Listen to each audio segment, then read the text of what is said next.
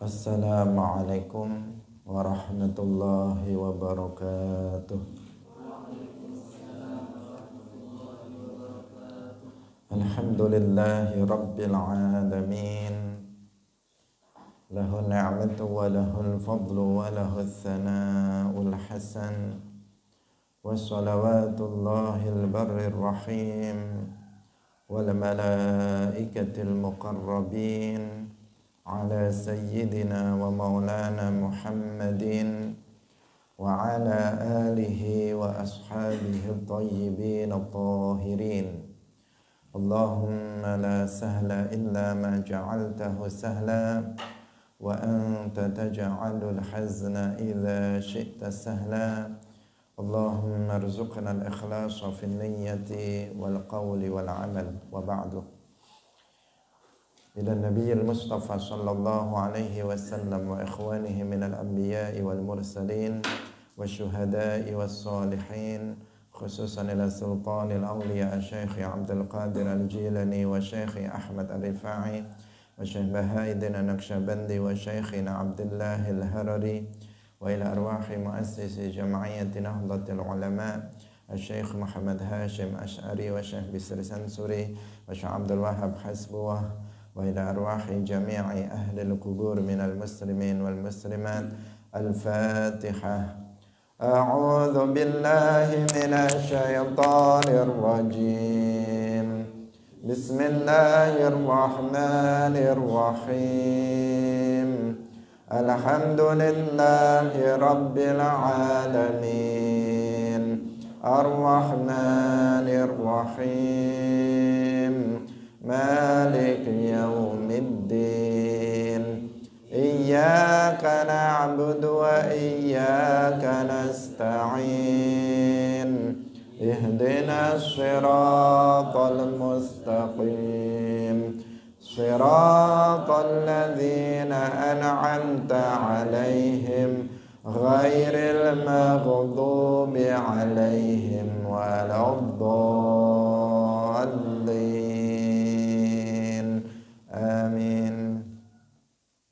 Hadirin hadirat kaum muslimin muslimat pemirsa Madu TV rahimakumullah. Alhamdulillah kita bersyukur kepada Allah Subhanahu wa taala. Pada pagi hari ini Allah Subhanahu wa taala masih memberikan berbagai nikmatnya yang tidak terhitung jumlahnya nikmat kesehatan nikmat iman Islam taufik dan nikmat-nikmat lainnya sehingga pada pagi hari ini kita semuanya bisa kembali hadir dalam majelis ilmu melanjutkan pengajian kitab Bulughul Maram min Adillatil Ahkam. Semoga Allah Subhanahu wa taala memberikan keistiqomahan kepada kita sehingga kita bisa menyelesaikan kitab ini dan bisa memahaminya dan juga bisa mengamalkannya. Amin ya rabbal alamin. Salawat dan salam semoga tetap terlimpahkan kepada makhluk yang paling mulia pemimpin dari seluruh para nabi dan rasul penutup uh, dari seluruh para nabi. Tidak ada yang diangkat menjadi nabi setelah beliau yaitu Nabi Muhammad sallallahu alaihi wasallam. Demikian juga untuk para sahabatnya keluarganya serta seluruh umat Islam yang mengikuti beliau ila yaumil qiyamah hadirin rahimakumullah Mari kita ikhlaskan niat kita masing-masing. Kita hadir dalam majelis ilmu Lillahi ta'ala. Babu salatil aidain. Qala al-muallif rahimahullah Babu salatil aidain Utawi iki iku bab nerangaken Salat riyaya luru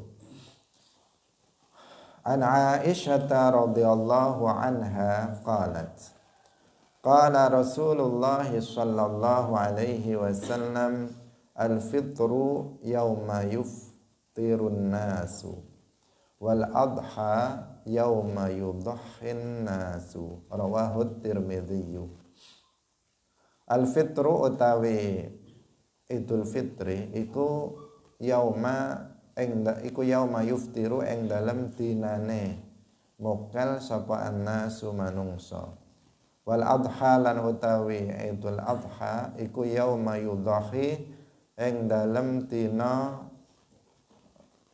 beleh kurbane beleh kurban sapa nasu manungsa. Rawahu tirmidzi.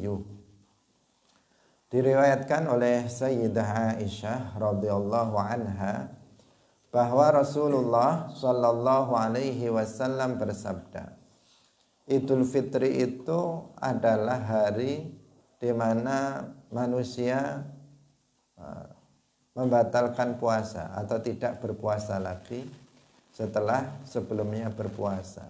Sedangkan Idul Adha itu adalah hari di mana orang-orang pada menyembelih binatang kurban. Rawahu Tirmidzi. Hadirin rahimakumullah. Jadi ini penamaan dari Idul Adha dan Idul Fitri. Kita di Islam uh, memiliki dua hari raya. Ada Idul Fitri dan ada Idul adha. Nah, penamaan itu uh, disesuai dengan uh, sesuai dengan yang terjadi. Nah, dinamakan sesuai dengan yang terjadi pada hari itu yang dilakukan oleh umat Islam. Nah, sesuai namanya itu disesuaikan dengan apa yang dilakukan oleh umat Islam pada waktu itu. Nah, Idul Fitri, kenapa disebut Idul Fitri, hari fitr? Nah, karena umat Islam pada hari itu sudah nggak puasa lagi, yuftir. Nah, mereka sudah tidak berpuasa lagi setelah satu bulan penuh pada bulan Ramadan mereka berpuasa. Jadi mereka puasa satu bulan penuh, kemudian pada hari itu uh, umat Islam sudah nggak puasa lagi. Maka Idul Fitri disebut Idul Fitri karena sudah yuftir. An-nasu itu sudah yuftirun nas, manusia sudah tidak berpuasa lagi pada hari itu. Penamaannya disesuaikan uh, dengan uh, apa yang dilakukan umat Islam pada hari tersebut. Kemudian yang kedua Idul Adha. Kenapa disebut Idul Adha? Karena yudhahin nasu. Karena pada hari itu umat Islam menyembelih binatang kurban. Uh, udhiyah atau udhiyah Dua-duanya bisa dengan tasdid atau tanpa tasdid. Nah, udhiyah artinya kurban, binatang kurban. Menyembelih, udhiyah menyembelih binatang kurban. Udhiyah dan udhiyah. Meskipun sebenarnya dalam penyembelihan kurban itu bukan satu hari waktunya karena binatang kurban juga boleh untuk disembelih pada tiga hari berikutnya yang disebut dengan ayyamut tasyrik. Kalau Idul Adha itu tanggal 10 Zulhijjah, ayyamut tasyrik tiga hari setelahnya tanggal 11, 12 dan 13 Zulhijjah. Ini juga waktu penyembelihan binatang kurban. Hanya saja uh, penyembelihan binatang kurban itu pertama kalinya pada hari pada hari tanggal 10 itu 10 Zulhijjah yang disebut dengan Idul Adha. Sehingga yang disebut Adha, Idul Adha itu hanya tanggal 10 Zulhijjah. Sementara setelahnya namanya Ayyamut Tashriq. Nah, tashriq kenapa disebut tashriq? Karena uh, yusharriqu uh, al-muslimun yusharriqun al-lahan. Uh, yusharriqun artinya yujaffifunahu yaitu uh, menjemur uh, umat Islam menjemur daging karena disembelih pada hari Idul Idul Adha daging melimpah banyak sehingga tidak semuanya dimakan pada hari itu. Sebagian agar awet dagingnya itu pada masa lalu ya. Kalau masa sekarang kan dimasukkan kulkas sudah beres sudah bisa tahan lama. Ya.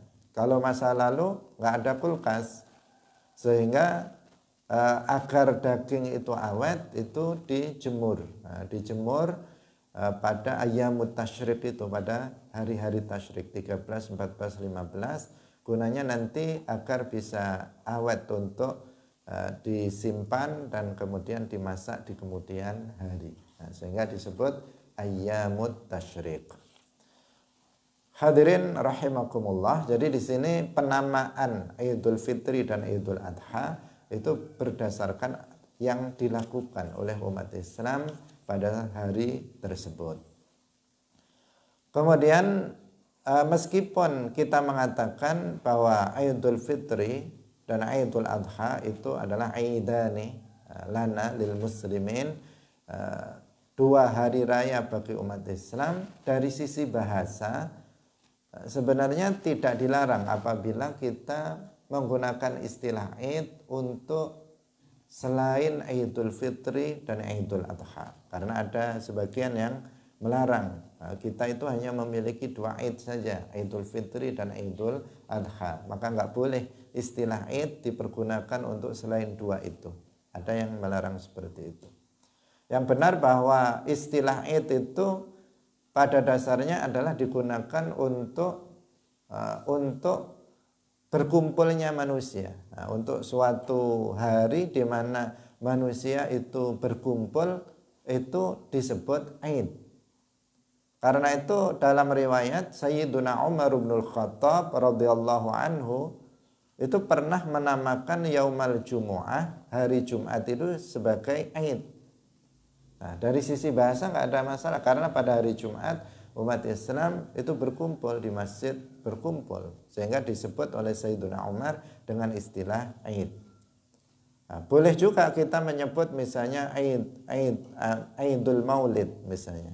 Ketika pada musim Maulid Nabi kita menyebutnya Aidul Maulid itu juga diperbolehkan, tidak uh, tidak keliru, uh, tidak salah. Nah, tapi kita mengatakan bahwa uh, Aid uh, Idul Muslimin Aidani Aidul Fitri dan Aidul Adha. Hadirin rahimakumullah, kita lanjutkan kembali wa an Abi Umair bin Anas radhiyallahu anhuma an an umumatin lahu minas sahabah. Ana rakban saat temane anak banjau saat temene kelompok kang nunggang kendaraan jauh wastaka sapa rakban fasyahidu nuli ningali sapa rakban annahum. Sak temene rakban iku ra'awul hilal iku ra'au ningali sapa rakban al hilala ing tanggal tanggal siji. Ing bulan tanggal siji. Al hilala ing hilal utawa ing tang ing bulan tanggal siji. Bil amsi ing dalam waktu wingi. Fa amarahum nuli perintah ing rabban sapa annabiyyu kanjeng nabi sallallahu alaihi wasallam ayuftiru ing yanto padha mukel sapa rakban wa idza asbahu lan tatkalane wis isu sapa rakban ayaghdu ing yanto lunga sapa rakban ila musallahum maring panggonan salate rakban rawahu Ahmad wa Abu Dawud wa hadha lafzuhu wa isnaduhu sahih. Nah, diriwayatkan bahwasanya ada uh, sekelompok orang datang mereka mengaku telah menyaksikan atau telah melihat hilal. Hilal itu adalah bulan tanggal 1 yang disebut dengan bulan sabit karena bentuknya seperti sabit. Ya, disebut hilal, tanggal bulan tanggal 1, bulannya itu. Nah, benda bulannya itu karena bulan kadang disebut untuk benda yang kita lihat bercahaya itu di malam hari itu bulan. Kemudian kita juga sebut bulan itu apa?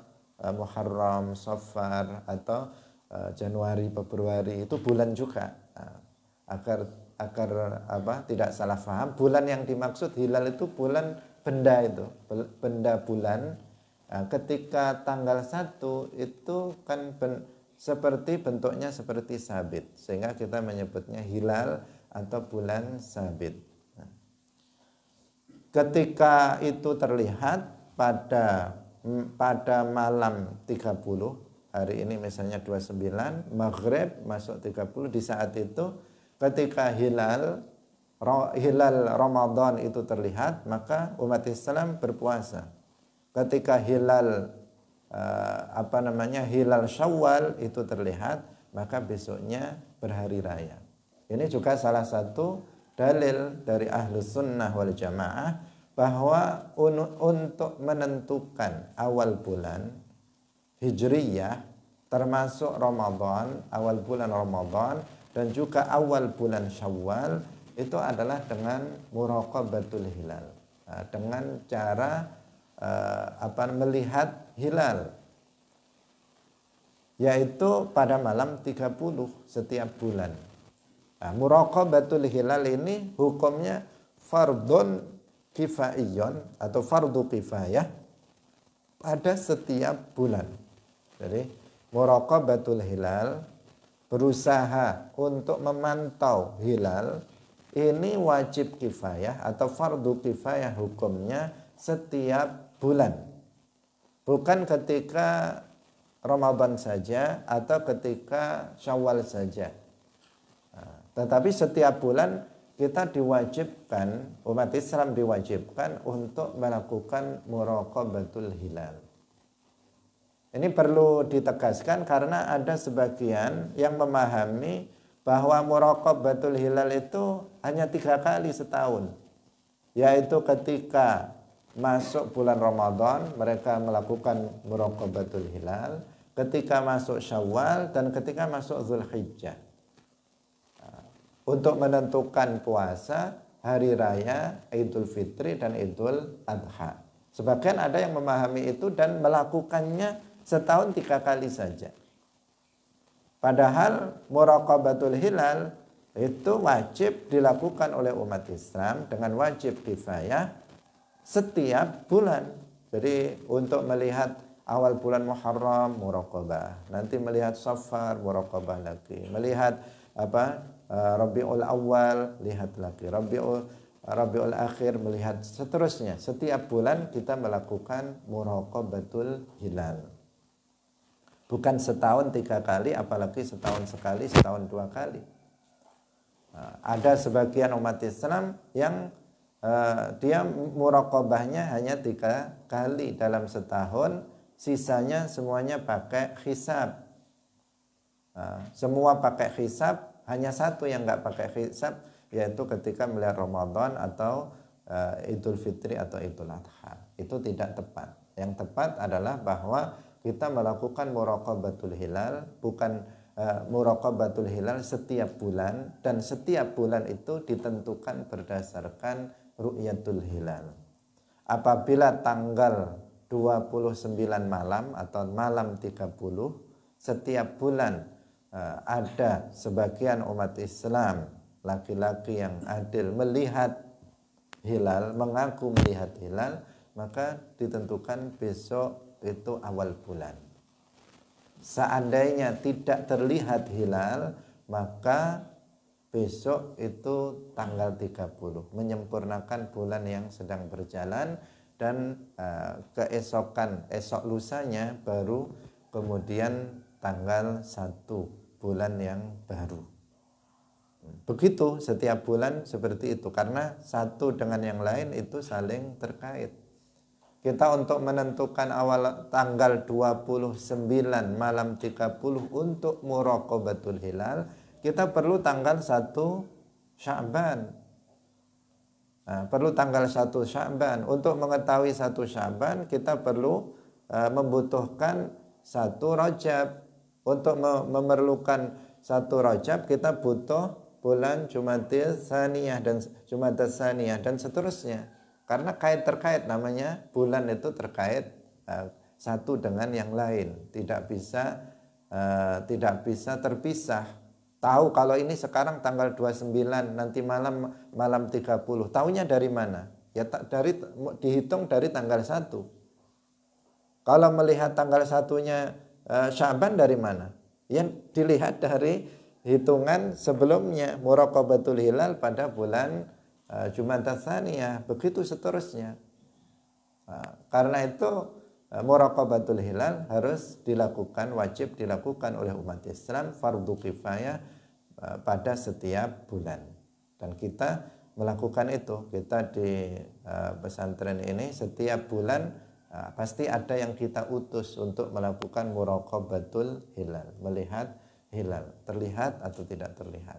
Orang yang melakukannya dia akan mendapatkan pahala yang sangat besar karena amalan yang dilakukannya itu bukan amalan sunnah tetapi amalan wajib. Dan kita sudah paham bahwa amalan yang wajib itu pahalanya jauh lebih besar dibandingkan dengan amalan yang sunnah. Maka kalau kita mau melakukan muraqabatul hilal meskipun kamu nggak pernah melihatnya, tapi kamu sudah berusaha melihat hilal di tempat-tempat yang memungkinkan untuk melihat hilal, maka kamu sudah mendapatkan pahala. Yang dapat pahala bukan mereka yang lihat aja, yang melihat tapi nggak eh, nggak melihat, yang berusaha melihat tetapi nggak melihatnya, dia sudah melakukan fardu kifayah karena nggak harus terlihat. Jika nggak terlihat kan kemudian eh, dia harus menyempurnakan bulan. Jadi hadis ini juga menunjukkan bahwa dalam penentuan awal bulan itu menggunakan ini ru'yatul hilal. Jika terlihat maka apa namanya? penentuan maka masuk awal bulan termasuk Idul Fitri, Idul Adha. Kalau nggak terlihat maka menyempurnakan bulannya. Di sini Nabi Shallallahu Alaihi Wasallam ada sekelompok orang yang mereka menyaksikan hilal Kemudian Nabi uh, memerintahkan mereka agar besok untuk berhari raya uh, tidak berpuasa besok karena sudah masuk hari raya dan memerintahkan mereka untuk besok pagi pergi menuju tempat-tempat sholat mereka untuk melaksanakan sholat Idul Fitri. Jadi sebenarnya semudah itu ya. Terkadang dipersulit oleh sebagian orang. Nah, untuk menentukan awal bulan ini sangat mudah. Sangat mudah sekali, tidak memerlukan uh, hal-hal uh, keilmuan-keilmuan hisab atau keilmuan falak yang detail. Uh, cukup kita punya mata saja. Kemudian di saat uh, tanggal 29 malam 30 kita pergi ke tempat yang memungkinkan bisa melihat hilal. Ketika kita melihatnya besok hari raya, ketika nggak melihatnya besok tanggal 30 Ramadan, udah selesai. Kalau kita nggak melihatnya ternyata ada kabar di tempat lain telah melihatnya, berarti kita ikuti.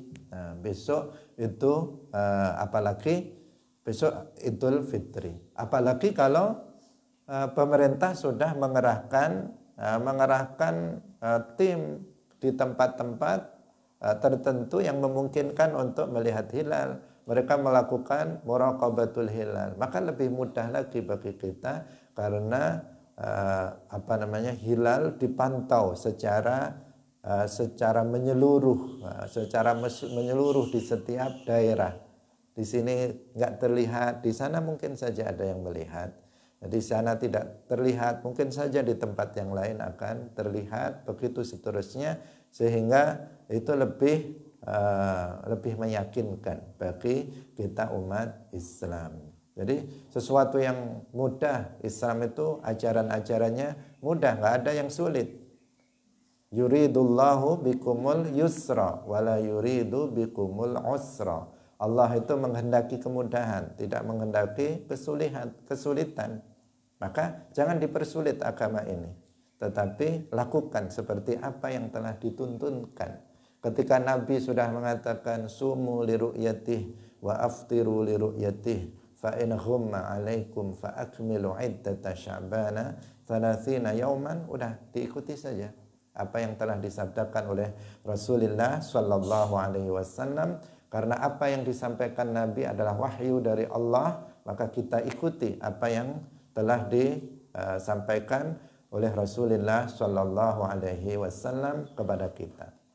Jangan kemudian kita ngakal-ngakali sendiri, nggak ngikuti apa yang telah dituntunkan oleh Nabi, tetapi uh, apa uh, mengikuti hawa nafsu kita sendiri uh, karena menginginkan uh, apa namanya menginginkan hal-hal yang sifatnya duniawi. Hadirin rahimakumullah. Ini penting untuk disampaikan agar kita tidak bingung dalam hal uh, penentuan awal bulan baik itu Ramadan ataupun Syawal ataupun Idul Adha. Nah, bagaimana menentukan satu Zulhijjah? Nah, nanti kalau satu Zulhijjahnya sama uh, seluruhnya maka akan sama juga Idul Adha-nya. Tetapi jika enggak nanti juga bisa terjadi perbedaan pendapat. Tapi kalau kita berpegang pada ru'yatul hilal, maka nggak akan berbeda. Semua akan sama. Hadirin rahimakumullah. Kita lanjutkan kembali. Wa an Anas radhiyallahu anhu qala Kana Rasulullah sallallahu alaihi wasallam la yaghdu yaumal fitri hatta ya'kula tamaratin. Karena ana sapa Rasulullah sallallahu alaihi wasallam iku la yaghdu ora metu lunga sapa Kanjeng Nabi yaumal fitri ing dalam dinane Idul Fitri hatta yakula sehingga dahar sapa Kanjeng Nabi tamaratin ing pira-pira kurma. Akhrajahul Bukhari wa fi riwayatin mu'allaqatin wa wasalaha Ahmad wa yaquluhunna afrada wa yaquluhunna lan uh, dahar sapa Kanjeng Nabi ing tamarat afradan kelawan ganjil. Hadirin rahimakumullah diriwayatkan dari Ibnu Buraidah dari ayahnya bahwasanya beliau bercerita, beliau mengatakan bahwa dahulu Nabi Shallallahu Alaihi Wasallam itu tidak keluar pada hari raya Idul Fitri sampai beliau itu uh, sampai beliau itu makan beberapa kurma. Dalam riwayat yang lain beliau memakannya itu ganjil. Ganjil berarti tiga buah kurma atau lima buah kurma atau tujuh buah kurma. Itu namanya afrodan yang dimaksud di sini. Jadi makan kurma itu dengan ganjil bukan genap bukan dua atau empat atau enam tetapi satu, tiga, lima, eh, tujuh, sembilan, ini afroda. Hadirin rahimakumullah, hadis ini menunjukkan kepada kita bahwa dalam Idul Fitri itu disunnahkan kita untuk uh, untuk makan sebelum sholat. Nah, disunnahkan kita untuk makan dulu sebelum sholat. Berbeda nanti dengan Idul Adha yang justru disunahkan untuk nggak makan dulu sebelum sholat. Ini karena mengingat eh, dalam Idul Fitri ini namanya tadi juga Idul Fitri hari di mana kita nggak puasa, ya. hari di mana kita tidak berpuasa. Setelah kita puasa hari-hari setiap pagi kita nggak pernah makan, nggak pernah minum karena berpuasa. Nah, memasuki Idul Fitri hari di mana kita sudah nggak berpuasa lagi. Maka di situ sebelum kita berangkat pergi untuk sholat Idul Fitri, kita disunnahkan untuk makan terlebih dahulu. Nggak harus banyak makannya, nggak harus dua piring atau tiga piring, nggak. Tetapi justru di sini disampaikan kalau Nabi itu kurma, yang dimakan kurma. Nah, kurma uh, yang ganjil, nah, satu, tiga, atau lima dan seterusnya yang ganjil beliau makan kemudian baru berangkat untuk melaksanakan sholat. Nah, itu itu untuk menunjukkan kalau pagi itu kita sudah nggak berpuasa lagi. Dan memang itu adalah sunnah Nabi itu yang dituntunkan oleh Rasulullah Shallallahu Alaihi Wasallam. Berbeda nanti dengan Idul Adha yang justru makannya itu sarapannya itu disunnahkan untuk dilakukan setelah sholat, bukan sebelum sholat. Jadi ini salah satu amaliyah yang sunnah, tidak wajib. Seandainya di Idul Fitri, itu pagi hari kita langsung berangkat sholat Idul Fitri, tidak ada masalah. Artinya tidak dosa. Tetapi eh, apabila kita makan dulu, maka itu akan mendapatkan pahala. Apa beratnya melakukan hal yang seperti itu? Sangat mudah dan menyenangkan. Pagi-pagi sudah makan kurma misalnya uh, dua atau tiga, lima dan seterusnya. Atau sarapan. Itu sesuatu amalan yang uh, enak dapat pahala. Nah, ada sebagian amalan itu enak dapat pahala. Pagi-pagi sebelum sholat Idul Fitri kita disuruh makan. Nah, disuruh makan dan berpahala karena melakukan sesuatu yang sunnah hukumnya. Hadirin rahimakumullah. Kita lanjutkan hadis berikutnya. Wa ani wa ani Buraidah an abihi. Oh, tadi an Anas ya. Tadi sudah kita baca belum ini. Wa ani bni Buraidah yang tadi wa an Anasin radhiyallahu anhu. Saya baca ulang. Wa an Anasin radhiyallahu anhu qala kana Rasulullah sallallahu alaihi wasallam la yaghdu yaumal fitri hatta yakula tamaratin akhrajahul bukhari sekarang wa ali bin buraidata an abihi radhiyallahu anhu ma qala kana nabiyyu kana ana sapa nabiyyu kanjeng nabi sallallahu alaihi wasallam ikula yakhruju ora metu sapa kanjeng nabi yaumal fitri ing dalam tinane riyaya fitr hatta yata'ama sehingga dahar sapa Kanjeng Nabi. Wala yata'amu lan ora dahar sapa Kanjeng Nabi yaumal adha ing dalem dinane Idul Adha hatta yusalliya sehingga uh, salat sapa Kanjeng Nabi.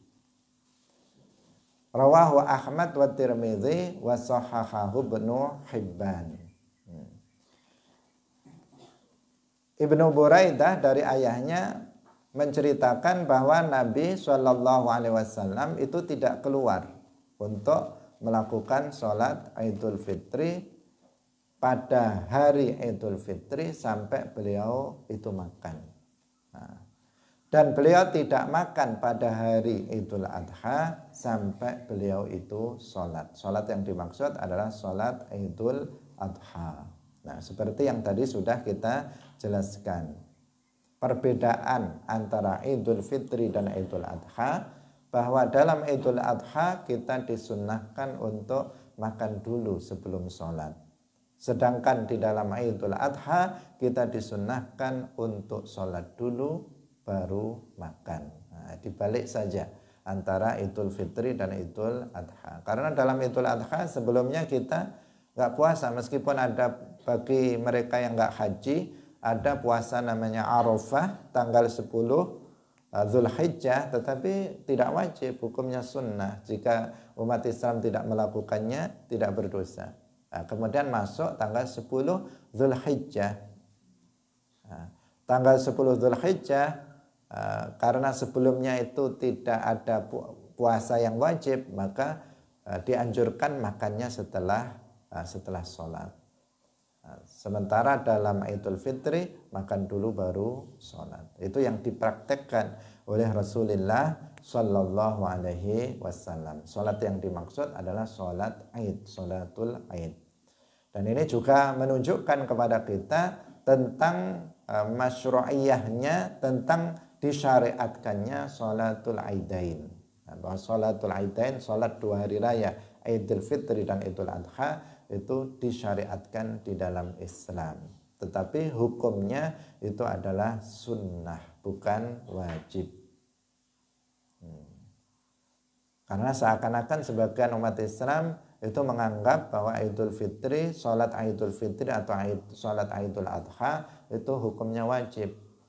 Buktinya ramai, ramainya bukan main, beda dengan sholat Jumat. Kalau sholat Jumat itu hukumnya wajib, tetapi yang hadir tidak sebanyak waktu Idul Fitri atau Idul Adha. Nah, khawatirnya mereka menganggap sholat Id itu wajib. Kadang mereka nggak sholat nggak sholat Jumat, tetapi mereka sholat Id. Ketika sholat sholat Jumat mereka nggak hadir, tapi waktu sholat Id mereka datang. Nah, mereka Ramadan nggak puasa, tetapi eh, hari raya mereka ikut. Nah, ini banyak umat Islam sebagian yang kayak begitu. Nah ini perlu diluruskan sholatul id hukumnya sunnah. Nah, meskipun sunnah memang harus kita uh, kita utamakan karena uh, sesuatu yang berpahala apabila kita melakukannya. Tapi yang wajib harus lebih diutamakan dari yang sunnah. Jika yang sunnah kita lakukan, apalagi yang wajib lebih harus kita laksanakan. Wa an ummi Atiyah radhiyallahu anhuma qalat Amarona wis perintah ing kita sapa an-nabiyyu Kanjeng Nabi sallallahu alaihi wasallam an nukhrija al awatiqa an nukhrija ing yen to ngetokaken sapa kita al awatiqa ing pira-pira bocah wadon kang wis balik. Wal huyadha lan pira-pira wadon kang khat fil aidaini ing dalem riyaya loro. Yashhadna ningali utawa mirsani atau ndelok mirsani sapa uh, awatik wal khuyat al khaira ing kebagusan.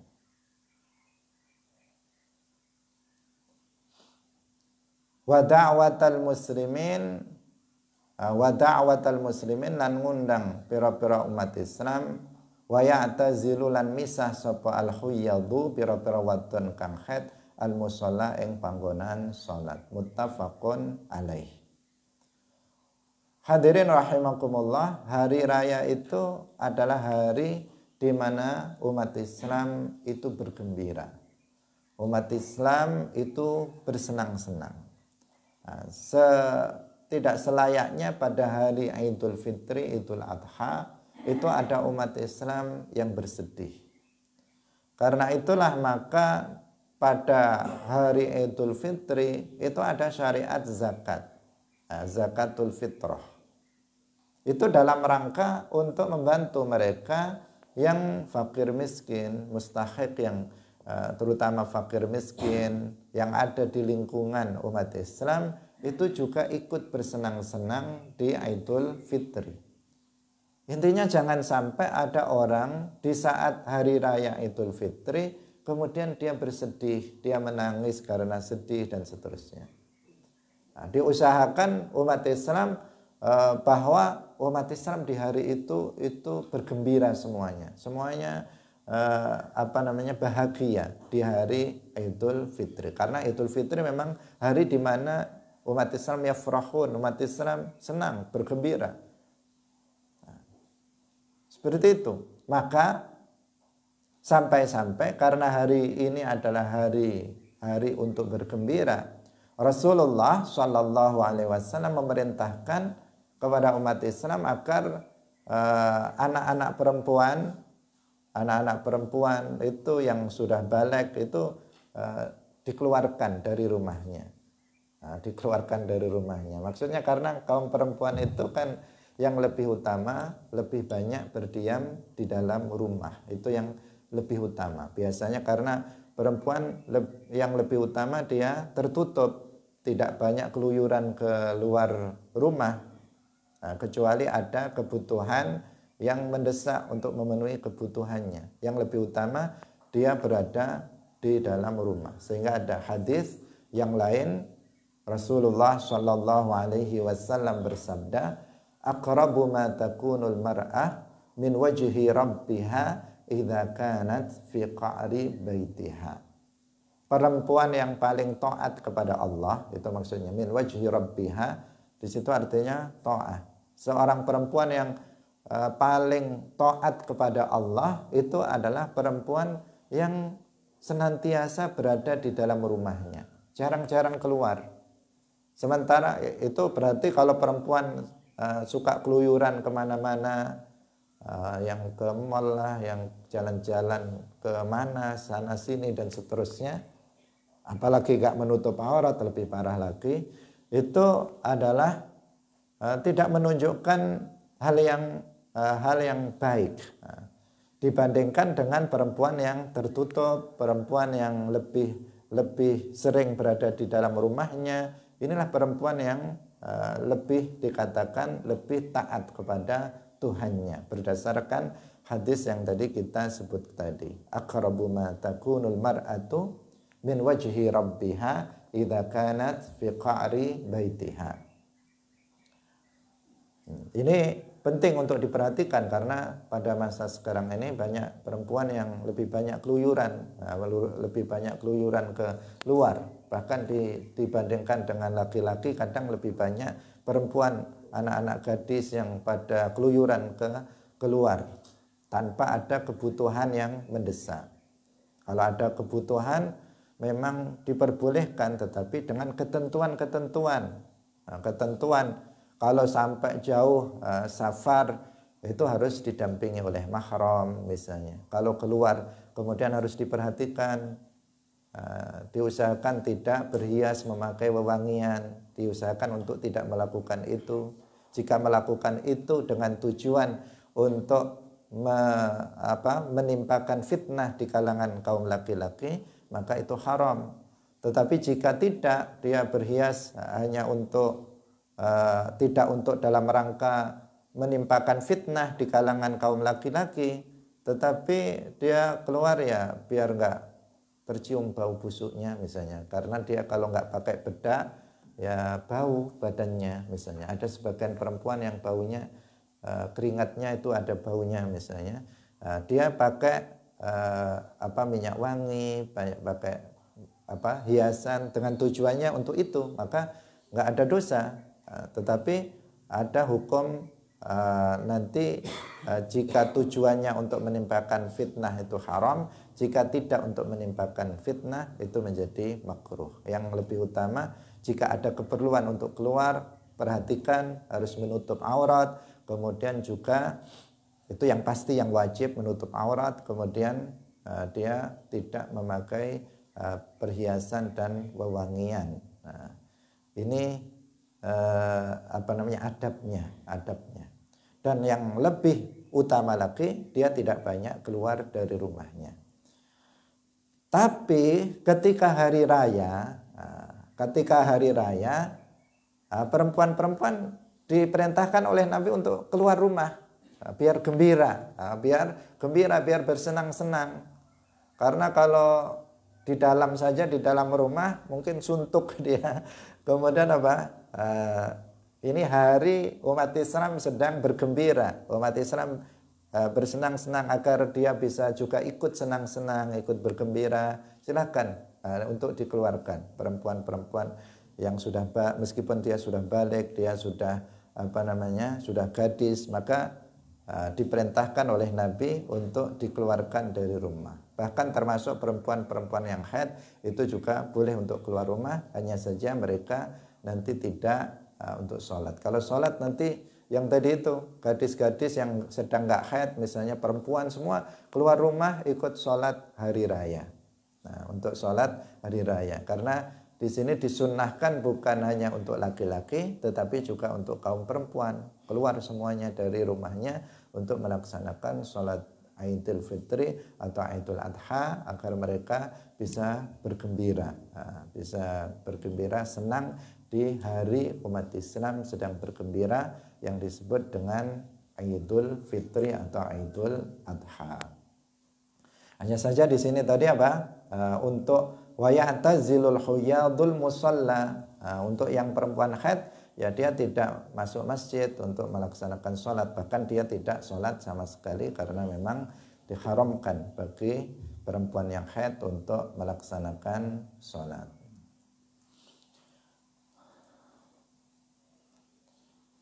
Inilah agungnya nah, Idul Fitri atau Idul Adha. Dan Idul, Idul Fitri atau Idul Adha itu adalah syiarun min syairillah.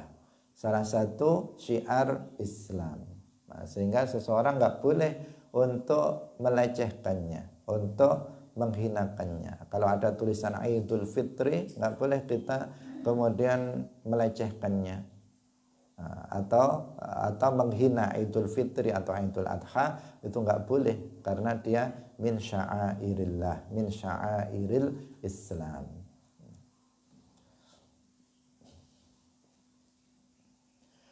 Hadirin rahimakumullah. Wa an ibni Umar radhiyallahu anhu ma qala Kana nabiyyu Nah, sebelumnya yashhadnal khaira di sini maksudnya bahwa kaum perempuan tadi itu mereka bisa ikut sholat al khairah kebaik kebagusan artinya mereka bisa juga ikut dalam pelaksanaan sholat Idul Fitri atau Idul Adha bersama yang lainnya kecuali perempuan-perempuan yang haid mereka tidak uh, ikut dalam pelaksanaan sholat. Wa an ibni Umar radhiyallahu anhu ma qala kana an-nabiy sallallahu alaihi wasallam. Ana sapa nabi kanjeng nabi sallallahu alaihi wasallam wa Abu Bakrin lan Abu Bakar wa Umar lan Umar. Yusalluna iku yusalluna salat sapa nabi wa Abu Bakar wa Umar al-aidaini ing riyaya loro qabla al-khutbati ing dalem sadurunge khutbah. Muttafaqun alaihi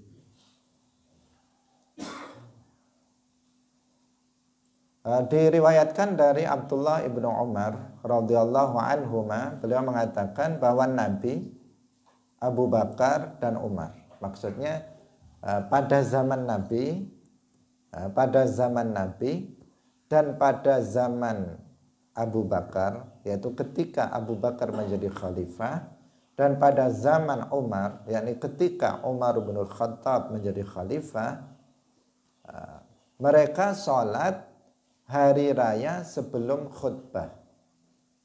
Jadi ini sunnah Nabi, kemudian diikuti oleh Sayyiduna Abu Bakar dan Umar pada masanya.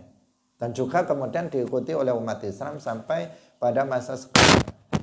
Di zaman Nabi, Nabi kalau sholat Idul Fitri atau Idul Adha, itu uh, apa sholat dulu, baru kemudian khutbah.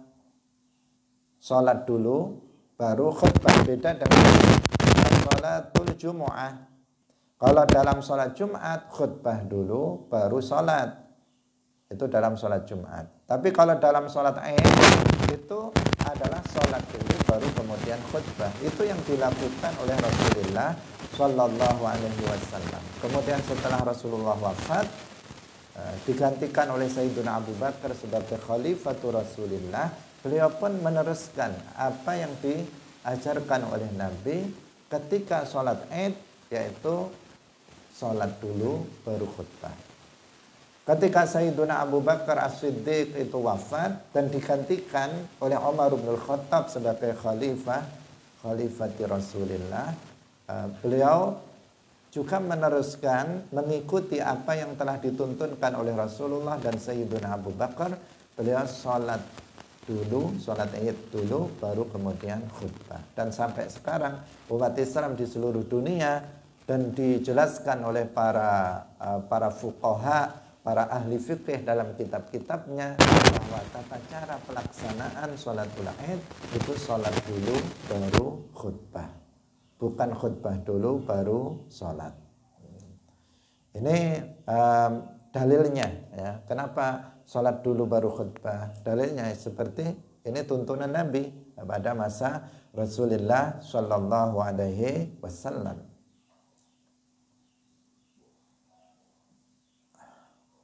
Jadi berlangsung sampai sekarang nah, dari masa Nabi, masa khalifah-khalifah seterusnya sampai pada masa sekarang. Wa ani bin Abbas radhiyallahu anhuma anna nabiyya sallallahu alaihi wasallam shalla yaumal aidi rak'atain anna nabiyya saat temene kanjeng nabi iku shalla salat sapa kanjeng nabi sallallahu alaihi wasallam yaumal aidi ing dalem dina riyaya rak'ataini eh, kelawan rong rakaat lam yusolli ora salat sapa Kanjeng Nabi huma ing dalam sadurunge rong rakaat wala ba'dahuma lan ora salat ing dalam sause rakaatain akhrajahu as-sab'ah Hadirin rahimakumullah Hadis ini menunjukkan uh, beberapa hal uh, kepada kita. Yang pertama, sholat Idul Fitri dan Idul Adha itu dua rakaat. Nah, menunjukkan itu. Karena Nabi uh, dikatakan di situ oleh Ibnu Abbas, Sholla anna nabiyya sholla yaumal id rakaatain. Berarti sholat id itu jumlah rakaatnya dua rakaat. Ini dalilnya. Dan kita sudah biasa melakukannya bahwa sholat hari raya itu adalah dua rakaat. Kemudian yang berikutnya bahwa uh, sholatul id itu nggak ada qobliyah dan ba'diyahnya. Nah, nggak ada qobliyah dan ba'diyahnya.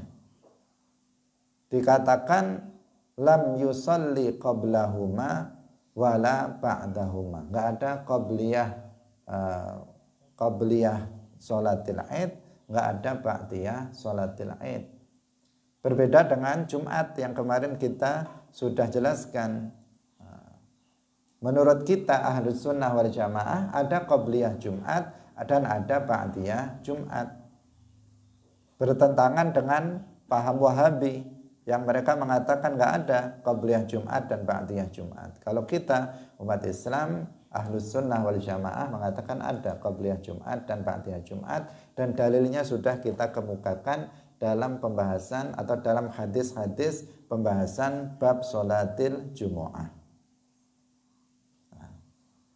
Sedangkan dalam sholatul id itulah yang memang nggak ada qabliyah ba'diyahnya karena rawatib itu adalah untuk Eh, sebelum dan setelah sholat fardu yang lima. Sementara sholat Jumat itu pengganti dari sholat zuhur sehingga juga ada rawatibnya, qabliyah dan ba'diyahnya itu ada. Sementara sholatul id itu bukan sholat wajib, bukan sholat fardu. Nah, sehingga di sini nggak ada rawatibnya, nggak ada qabliyah sholat id, nggak ada ba'diyah sholatil id. Ini hadis ini menunjukkan hal itu dengan tegas lam yusalli qablahuma wala ba'dahuma. Wa anhu ay an ibni Abbas radhiyallahu anhu anna nabiyya sallallahu alaihi wasallam shallal aid. Iku shalla salat sapa nabi al aida ing riyaya bila adzanin kelawan tanpa adzan wala iqamatin lan tanpa iqamah. Akhrajahu Abu Dawud wa asluhu fil Bukhari. Ibnu Abbas, Abdullah Ibnu Abbas menceritakan bahwa Nabi Shallallahu Alaihi Wasallam itu sholat hari raya dengan tanpa adzan dan tanpa iqomah. Maka hadis ini berarti menunjukkan bahwa untuk sholat id gak ada adzannya dan juga gak ada iqomahnya. Tetapi seperti sholat-sholat sunnah yang lainnya, sholat-sholat sunnah yang lainnya, diganti azan atau iqamahnya itu diganti dengan panggilan as-salatu jami'ah. Ah, as-salatu jami'ah. Ah, itu seruan seruan untuk jamaah salat sunnah. Jadi salat sunnah di awal dulu sudah pernah kita jelaskan ada yang disyariatkan untuk berjamaah, ada yang tidak disyariatkan untuk berjamaah. Nah, sholat-sholat sunnah yang disyariatkan untuk dilakukan berjamaah itu seruannya bukan dengan azan atau iqamah, tetapi dengan ucapan as-salatu jami'ah. Itu seruannya. Nah, misalnya dalam sholat tarawih itu juga as-salatu jami'ah. Dalam sholat Aid, Aidil Fitri, Aidil Adha, seruannya juga as-salatu jami'ah. Dan dalam sholat yang lainnya yang itu hukumnya sunnah, seru, seruannya adalah as-salatu jami'ah. Kalau dalam sholat yang lima waktu yang wajib, maka dengan azan dan iqamah. Hadirin rahimakumullah, uh, demikian pengajian kita pada pagi hari ini. Semoga bermanfaat bagi kita semuanya. Barakallahu fikum. Wallahul muwaffiq ila aqwamit tariq. Wassalamualaikum warahmatullahi wabarakatuh.